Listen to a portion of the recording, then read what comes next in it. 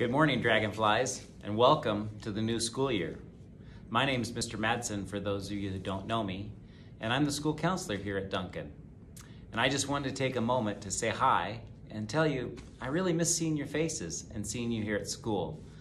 I can't wait until we can have school as usual with everyone here. But for now, we have to be at home and learn in this way. So we're all gonna have to make the best of it. And some of us, it's gonna be a stretch, it's gonna be hard for us, and some of us, it's gonna be easier. The hardest thing, I think, is just not seeing each other and having that connection, being able to talk to each other and play chess, different things like that, see our teachers. So that's gonna be really hard. During this time, you're gonna have lots of feelings, lots of feelings, and feelings that are normally small feelings will all of a sudden feel like big feelings. Just like Kelso talks about small problems and big problems.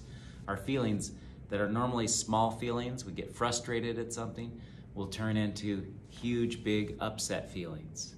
And that's happening for all of us. And it's important for you to know what to do when you're having those feelings. I'm going to link something in this video. It's called the Virtual Calming Room. It's a website, a page on my website that I developed uh, by looking at some other websites. And it'll have activity, activities that will help you um, manage those feelings and deal with that stress. There's music on there, there's exercises, there's drawing activities, all kinds of activities. I encourage you to check it out. Um, those activities should help with a lot of the feelings.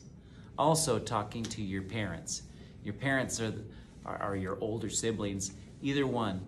Those are people who can relate to you and help you with those feelings as well.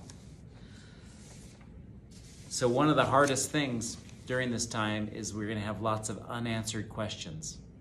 And when we don't get answers to our questions, again, that causes big feelings. So, I want to encourage you to take care of yourself and learn how to deal with those feelings any way that you can. Be, you might have to take a walk. You might have to um, stop what you're working on and do something else to take a break. That's okay.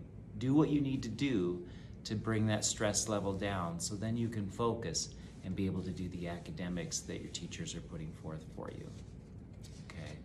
I also wanted to let you know that um, I will have my classroom up and running again soon. And just like last spring, there will be a lot of activities. I'll have activities that help you identify your feelings. I'll have activities that help you develop coping skills for those feelings. I have my read alouds, which I had, I think, 10 read alouds, and I'm going to add to that this year. Maybe you just need a story to listen to. I've added some fun sound effects and music to the stories, so I hope you enjoy them. If you haven't checked them out, I encourage you to check them out. Also, I'm trying to figure out how to do chess club. So stay tuned for that. I'm gonna try to figure out last spring I did chess puzzles and I imagine I'll do that again this, this year. Um, but I'm trying to figure out a way that we might be able to play chess.